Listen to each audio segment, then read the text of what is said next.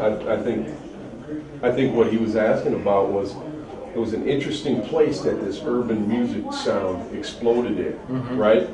Yeah, it- yeah, for it to happen in Minneapolis was very, you know, when I look back on it, it, it when I was here, it didn't, I didn't think it was weird because Right. it felt normal. But Right. when you look back on it, yeah, it was very weird that it did happen. Put a transistor radio under, back in, in my day, we had transistor radios, little tiny things, right? You probably don't remember those things. I remember iPods. Yeah, Yeah. you, you don't, you don't know what I'm talking about. No. I, I had it under my pillow because, of course, I had to be in bed to get up for school. And I, I could get WLS from Chicago in St. Cloud, and I could pull in KAAY from Little Rock, Arkansas.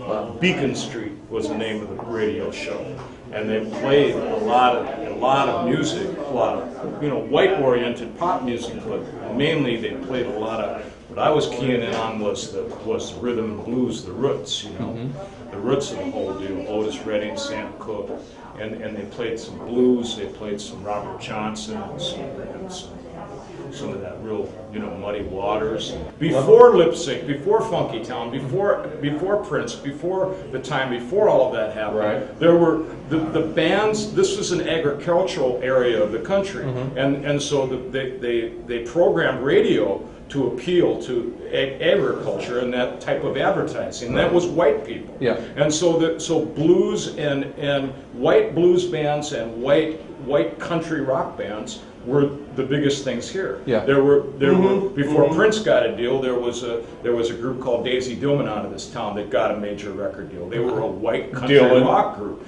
and Lamont Cranston was a was a big white blues band. Sure. Um, the, the, the Blues Brothers, Dan Aykroyd and John Belushi, they they followed them around. That's how they got their characters. Okay. They followed around Lamont Cranston. Right, right, right. then these were white bands, you know. But the brothers in this town, they didn't really have a place to work. The black bands, Yeah, you know, right. Prince and the, and the Flyte Tyme and those guys, they exclusively worked at black clubs. They didn't cross over into the white clubs where Lamont Cranston and Daisy Dillman were working. Yeah. So they kind of got pissed. Mm -hmm. So they kind of went, well, okay, f- you know, Yeah. f- forget you.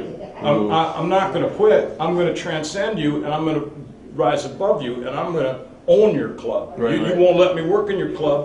I'll buy your club. Right, And right, by then, right. I won't even want to buy your club because I'll have so much money, I won't even care about it. And that is specifically exactly what happened. Yeah. They Right. succeeded.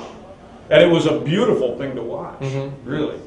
Right. And I think Prince was very much aware of diversity as a part of his thing. And I Yeah. don't know if that was a, a planned thing, but I also think that was just part of the way the scene was in Minneapolis in the 80s. Mm-hmm. I mean, because there was a very cool mixing of people, colors, races in bands, and the music is what brought it all together here. Yeah. Prince was a big catalyst to that. It was happening before Prince, but Prince really was a catalyst because that brought industry to Minneapolis. Mm-hmm. Yeah, it's not like it was. You know, during during when when Prince hit and the time hit and Alexander Right. O'Neal came and and Rockie Robbins, Jimmy there was a Terry lot and there. the Jimmy and Terry and yeah. the whole thing. There was a real scene Even here. the Jets, the Jets were from Minneapolis Yeah. too, right? Yeah, and, and it, I mean, it was fun being here as a musician because people were coming from all over and, and, and hanging out and watching the scene. And yeah, I mean, every scene has its has its day, and it's and it's over. There are a lot of talented musicians still living,